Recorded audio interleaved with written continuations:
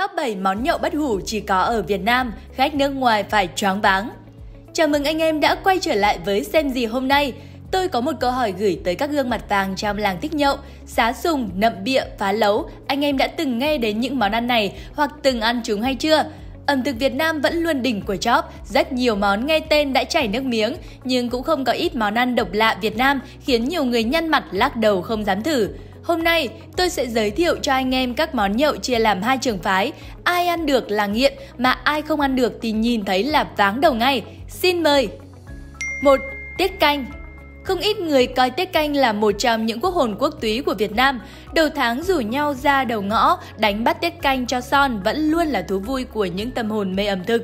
Nguyên liệu chính của tiết canh là máu động vật tươi như vịt, dê, bò, được pha với chút nước muối nhạt hoặc nước mắm để hãm trước khi trộn với thịt vụn, sụn băm nhỏ. Nhiều quốc gia cũng có những món ăn chế biến từ máu động vật, nhưng cách chế biến từ máu tươi để đông thì chỉ có độc nhất vô nhị tại Việt Nam. Mặc dù nhận được nhiều sự yêu thích nhưng anh em cũng cần chú ý khi ăn món này. Tiết canh nhẹ thì có thể gây ra đau bụng đi ngoài, nặng có thể dẫn đến ngộ độc thực phẩm. Ngoài ra, tiết canh cũng có thể đem đến cho anh em những em sán lợn gạo cực kỳ đáng sợ. Nói chung ăn thì ngon nhưng cũng phải tìm quán đảm bảo vệ sinh và cũng không nên ăn quá nhiều nhé. 2. Trứng vịt lộn Đối với dân Việt Nam thì đây là món ăn quá đỗi quen thuộc, không cần chờ đến những buổi nhậu thì trứng vịt lộn cũng có thể dễ dàng bắt gặp trong các bữa cơm gia đình. Với dân tộc anh dũng như Việt Nam thì trứng rồng lộn cũng chén chứ đừng nói là vịt lộn. Thế nhưng với người nước ngoài thì đây lại là một món ăn dùng để thử thách lòng can đảm.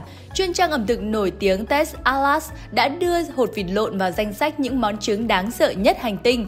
Tess Alas mô tả trứng vịt lộn là món ăn đường phố phổ biến ở một số quốc gia Đông Nam Á như Việt Nam, Philippines, Lào hay Campuchia.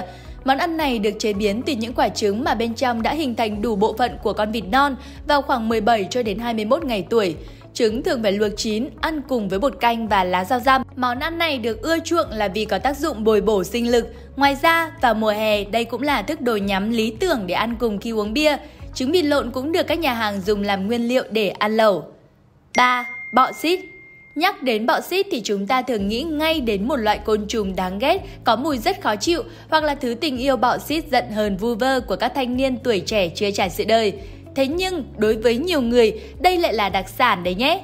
Bọ xít rang lá chanh, bọ xít xào măng chua, anh em nghe có thấy hấp dẫn không? Người dân tại Sơn La, một trong những vùng gắn liền với món ăn độc lạ này chia sẻ, Hàng năm, cứ đến mùa nhãn ra hoa kết trái, bà con dân tộc chúng tôi đều lên vườn nhãn bắt những con bọ xít về, chế biến thành các món ăn truyền thống. Cách chế biến bọ xít rang này tương đối cầu kỳ và phức tạp. Để khử hết mùi của bọ xít, chúng tôi phải thả vào chậu nước muối loãng một lát cho chúng phun bớt tuyến hôi. Sau đó tôi lại ngâm và rửa sạch trong nước măng chua một lần nữa. Tiếp theo, tôi ướp bọ xít trộn đều với gia vị ớt, tỏi, muối, mì chính, nước măng chua, ngâm khoảng 5 phút rồi cho lên chảo rang vàng rộm, bày ra đĩa cùng với lá chanh thái nhỏ. Sau khi chín, mùi hôi của bọ xít hoàn toàn biến mất, thay vào đó là mùi thơm của bọ xít rang và thơm nồng nhẹ của lá chanh mà thôi. Trong lúc người dân chia sẻ thì phóng viên vừa gật đầu vừa lấy tay lau miệng ngăn không cho nước miếng chảy ra. Công thức không hề đơn giản, có lẽ vì vậy mà bọ xít mới trở thành món ăn được nhiều người ưa thích. 4. Thịt chuột Nhắc đến món ăn này thì tôi hơi nhức nhức cái đầu. Tôi đoán anh em nào sợ chuột giống tôi cũng không bao giờ dám nghĩ đến việc ăn thịt loài vật này. Nhưng đây cũng lại là món khoái khẩu ở một số địa phương. Thịt chuột nướng, chuột chiên xả ớt, thịt chuột áp chảo mới chỉ là một trong số rất nhiều các món đầu bếp đại tài ở Việt Nam có thể chế biến từ chuột. Những món ăn này kết hợp với vài ngụm rượu quốc nội nữa thì phải gọi là hết nước chấm. Thế nhưng cũng nhiều người đặt ra câu hỏi có nên ăn thịt chuột hay không?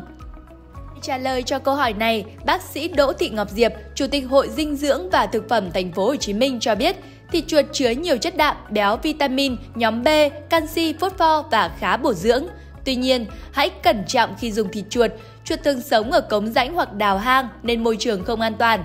Chưa hết, thức ăn của chuột không đảm bảo nên nguy cơ lây nhiễm các bệnh cho người là không tránh khỏi.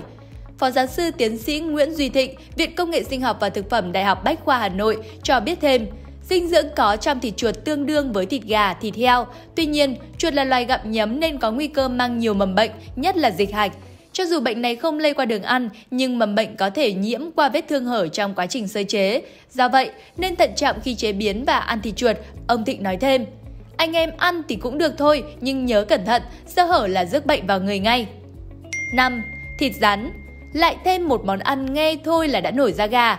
Ngay tại Hà Nội, có một làng nghề truyền thống rất nổi tiếng gắn liền với nghề liên quan đến rắn. Đó chính là làng Lệ Mật thuộc quận Long Biên, Hà Nội, nơi được CNN khuyến cáo là dành cho những thực khách ưa mạo hiểm. Làng Lệ Mật nổi tiếng với nghề nuôi rắn và chế biến đặc sản thịt rắn. Rắn ở Lệ Mật chủ yếu là hổ mang chúa, hổ ngựa và rắn giáo. Thực khách đến các nhà hàng trong làng, bên cạnh việc thưởng thức các món ăn từ rắn thì còn có cơ hội trải nghiệm tour ngắm rắn và tận mắt chứng kiến công đoạn bắt rắn ly kỳ. Hoạt động này chỉ dành cho những người ưa cảm giác mạnh vì những thủ thuật bắt rắn để cắt tiết, bẻ răng nanh khá là rùng rợn. Những ai yếu tim xem xong là khỏi dám ăn luôn. Rắn ở đây được chế biến đủ món lạ như rắn nướng, thịt rắn xào lăn, nem rắn, chả rắn lá lốt. Mật rắn, tiết rắn, tim rắn cũng được đầu bếp xử lý ngay trước mặt khách rồi bỏ vào rượu cho khách thưởng thức từ đầu bữa ăn. Nhìn chung thì cả con rắn từ thịt, xương da, nội tạng đều được nhà hàng tận dụng tối đa thành món ăn. Các nơi bán thịt rắn thường quảng cáo nhà tôi ba đời chữa xương khớp, tăng cường sinh lực bằng mật rắn, rượu rắn. Nhưng trên thực tế thì thịt rắn chứa hàm lượng dinh dưỡng cao, mang đến nhiều tác dụng cho sức khỏe, nhưng không phải ai cũng thích hợp để sử dụng thịt rắn.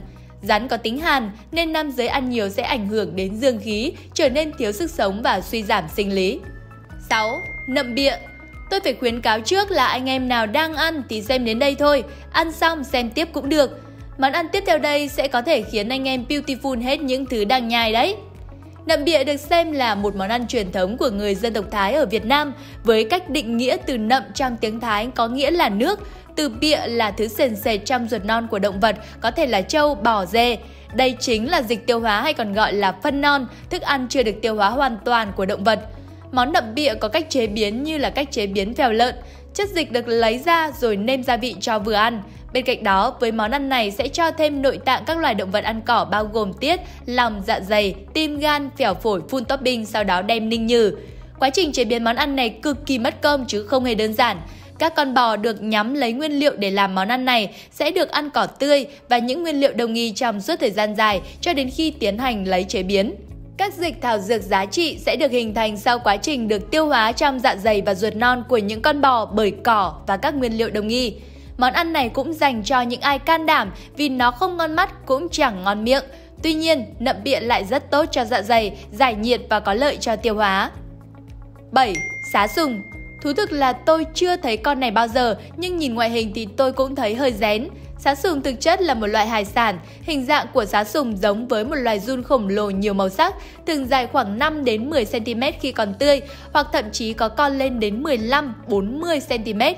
Đặc biệt hơn, da của xá sùng rất mềm, mát và có thể thay đổi màu sắc phụ thuộc vào môi trường xung quanh.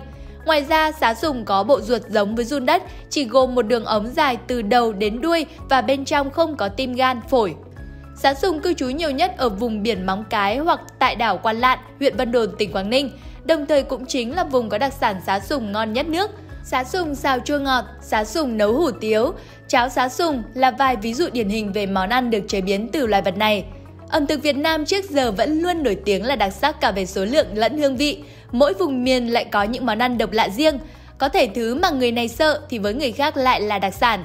Ai cũng muốn trải nghiệm các món ăn ngon. Tuy nhiên, vệ sinh an toàn thực phẩm vẫn phải đặt lên hàng đầu anh em nhé. Video ngày hôm nay đến đây là kết thúc. Cảm ơn anh em đã theo dõi. Đừng quên like video và ấn theo dõi để ủng hộ xem gì hôm nay nhé. Xin chào và hẹn gặp lại!